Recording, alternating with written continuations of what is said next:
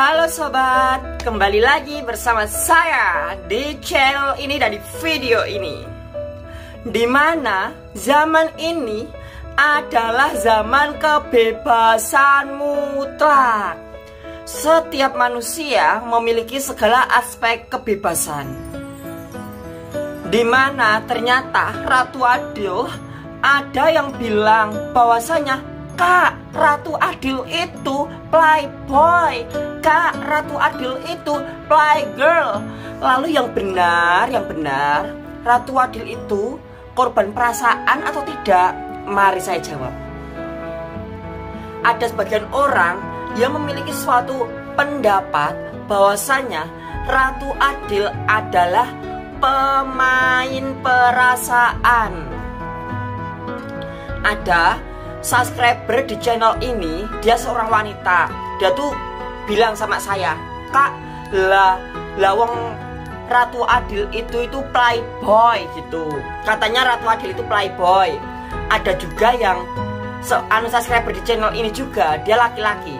Dia bilang kak lawang Ratu Adil itu playgirl pemain wanita pemain.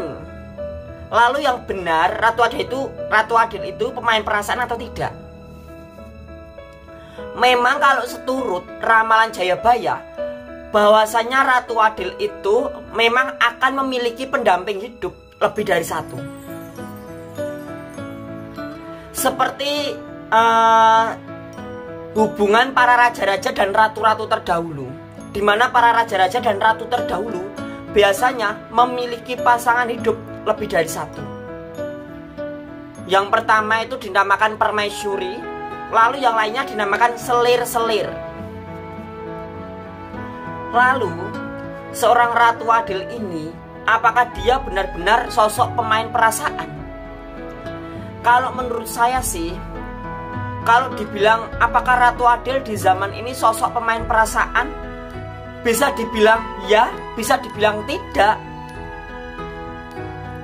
Ya karena kalau bilang ya memang zaman sekarang tuh semuanya bebas mau kamu jadi pemain perasaan, mau kamu jadi korban perasaan, itu kan udah umum, udah bebas gitu loh. Dan kalau tidaknya, Ratu Adil itu kan lahir dari golongan rakyat jelata, rakyat miskin. Ratu Adil juga dari keluarga yang rendah imannya, rendah ilmu agamanya. Lalu yang jadi pertanyaan saya, menariknya Ratu Adil di zaman ini tuh apa? Ratu Adil itu menariknya apa sih? Penampilan ya mungkin ya biasa-biasa aja, nggak menarik. Terus uh, kehidupan ya biasa-biasa aja, nggak ada bedanya dengan kita semua. Jadi yang jadi pertanyaan saya itu, menariknya Ratu Adil di mana? Dan kalau memang ada dari subscriber di channel channel ini setuju dengan pendapatnya, harus beli alasan dong alasannya apa gitu.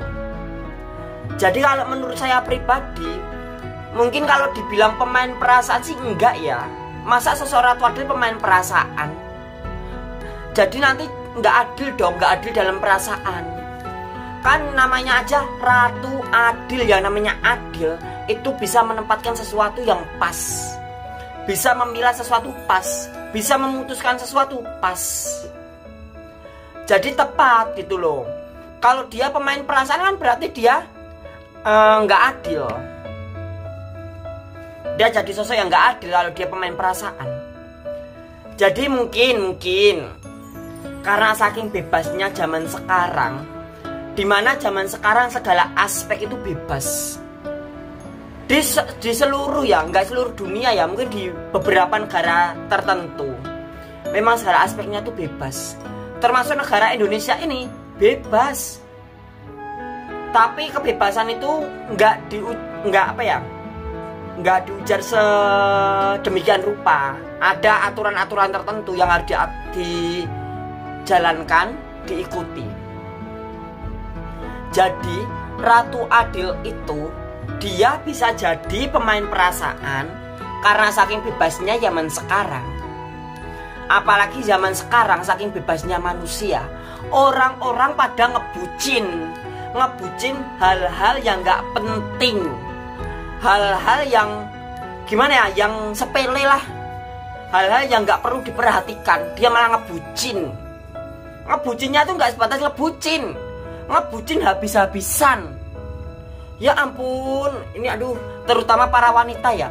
Wanita tuh kalau ngebucin tuh habis-habisan laki-laki yang nggak tampan laki-laki yang nggak seberapa laki-laki yang biasa bisa di ngebucinin anu wanita saking bebasnya zaman sekarang dan tidaknya Ratu Adil itu apa? Karena kondisi Ratu Adil sendiri seturut dengan yang tertulis dalam ramalan bahwasanya Ratu Adil itu hidupnya itu sederhana. Dia hidup di dalam keterbatasan. Jadi dia itu bukan orang kaya, bukan orang berkelimpahan. Hidup dia hidup di dalam keterbatasan. Keterbatasan materi, keterbatasan kepintaran, keterbatasan uh, dalam imajinasi. Setiap orang itu imajinasinya bebas, bisa setinggi apa pun bisa. Tapi Ratu Adil itu terbatas dalam berimajinasi. Karena apa? Kehidupan dia yang memukul dia untuk terus menjadi pria, menjadi wanita yang tangguh entah pendapat kamu Ratu Adil itu laki-laki atau entah pendapat kamu Ratu Adil itu perempuan, itu bebas, itu pendapat kalian masing-masing. Entah dia laki-laki atau perempuan, tapi kondisi dan keadaan dia yang memukul dia harus menjadi sosok manusia yang tangguh, kuat luar dalam.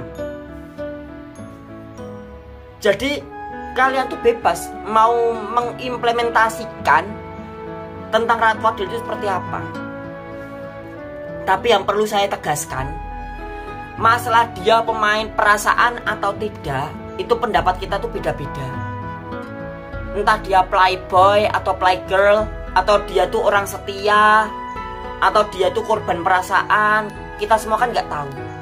Tapi yang jadi tolak ukur kita bahwasanya Ratu Adil memiliki hikmat Tuhan bersamanya.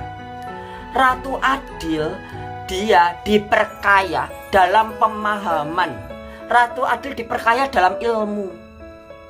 Biasanya orang-orang zaman sekarang itu kalau dia itu pusuk umpamanya dia orang Islam, ilmunya ya tentang ilmu Islam. Dia nggak punya ilmu lain. Pemahaman dia cuma pemahaman Islam dia menilai sesuatu hanya dari pemahaman Islam. Orang Kristen, dia itu punyanya ilmu, ya ilmu di kekristenan. Dia punyanya pemahaman, ya pemahaman Kristen. Dia menilai sesuatu ya dari pemahaman Kristen gitu. Orang-orang zaman sekarang kan gitu. Beda dengan Ratu Adil. Ratu Adil segala aspek dia pelajari. Banyak agama dia pelajari dia tidak menilai sesuatu dari satu keyakinan, dia tidak menilai sesuatu dari satu pihak, tapi dia benar-benar cermati. Dia benar-benar mencari tahu segalanya. Maka dari itu sosok Ratu Adil diperkaya dalam ilmu. Sosok Ratu Adil diperkaya dalam pemahaman. Maka dari itu Ratu Adil menjadi sosok yang istimewa apalagi di dalam pemahaman pola pikir ilmu dia istimewa karena apa dia sangat memperkayai diri dengan semua itu karena dia tahu harta tidak dibawa mati harta tidak dibawa ke kerajaan surga harta tidak dibawa ke surga Firdaus tapi yang dibawa adalah ilmu yang bermanfaat Sekian informasi dari saya. Jangan lupa untuk selalu like dan subscribe.